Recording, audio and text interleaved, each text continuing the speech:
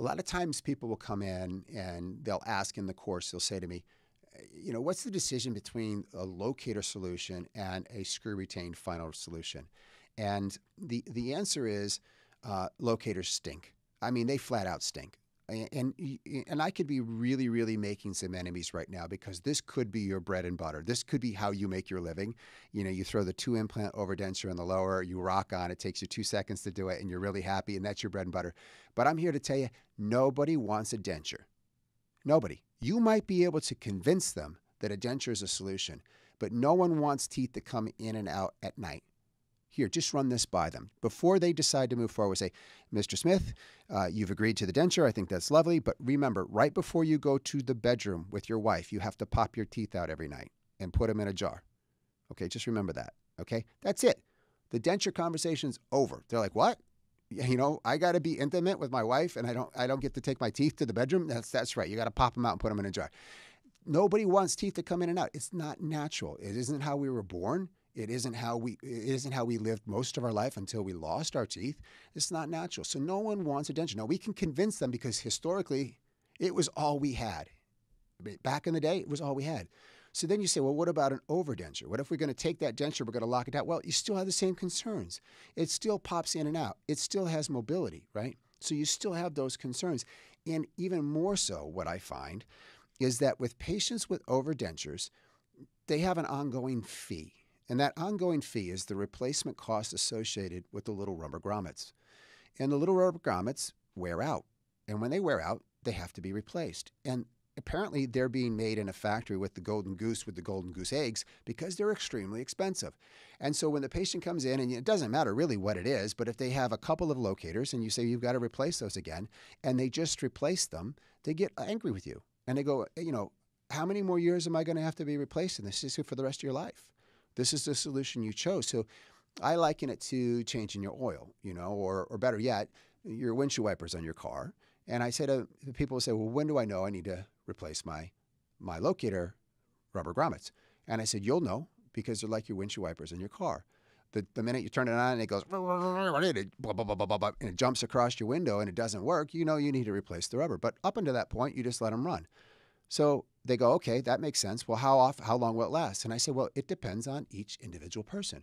Because I've had people leave and they've and they have been rough on their denture and placed it in their mouth and used the opposing dentition to close down on the denture and damage the housing within a week of getting new ones. And so, they, I mean, that's a big expense. They have to replace the housing and the rubber grommets within a week. And you do that a few times, you, you, you create someone who's not happy with you and or the industry. So that leads to the screw retain solution, which everyone wants. If you offered a screw retain solution and you said it was free, of all three options, a denture, a locator, and screw retain, and you said all three were free, I, I, I, don't think there's a person on the planet that would choose anything but screw retain because it's the closest thing to nature. It's the closest thing to what we were born with. It's a third set of teeth. And it's a set of teeth that will never need a root canal. You'll never need a filling. And it, will never need a deep cleaning. You know, a lot of the conditions that they've been suffering with go away when you place a screw retain solution. Now, it has to be done right because some people are saying, well, you can have complications with your full mouth. You, you sure can. But if you do it right, those complications are minimal to none. Okay? So when people say, well, would I be a candidate for locators? The litmus test in my opinion, is this.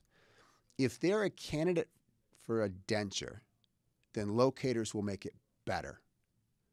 If they're really not a candidate for a denture, then locators aren't going to help much. So let me explain. If you have a patient who has a ridge that's nice and thick and, and full in volume, they're a candidate for a denture. The denture will work okay, okay? In that case, adding locators to that really helps a lot because it's, it's an additive effect. If you have a patient who has a lot of bone loss, so the bone is resorbed over time and it's rather flat on both the upper and lower, they're not a great candidate for a denture to start with. If you put locators in that person, they're probably going to be at your doorstep every couple of weeks. They're going to become one of these uh, family members. And they're always at the office and they're always complaining because they, the, the locators, people are expecting screw retained when they get locators. They're expecting the rigidity of a screw retain solution. And you tell them, I'm giving you implants. And it's not inexpensive, right? It's an investment.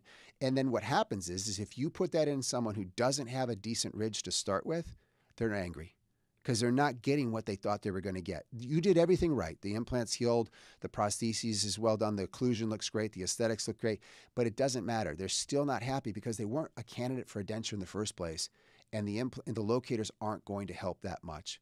So if you have somebody with a lot of atrophy, I don't ever put them in a denture. I don't ever put them. I don't ever recommend a denture and or a, a locator solution. I tell them screw retained.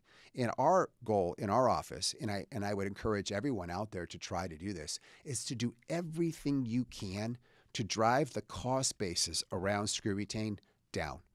Because if we can get the cost down on our screw retained solutions, it's what everyone wants. And it's a beautiful thing it's just when you do screw retain all on X properly, it is a beautiful thing. It just, I, I firmly believe properly done, all on X solutions are likely going to last the patient the rest of their life. That's not to say that you might not have some sort of complications some point down the road, but that but those complications are usually minimal and can be fixed with a with a, a simple appointment to the office. So screw retained is where I believe firmly most people want to go. This has been another episode of Implants Made Simple. Smile Engineer out.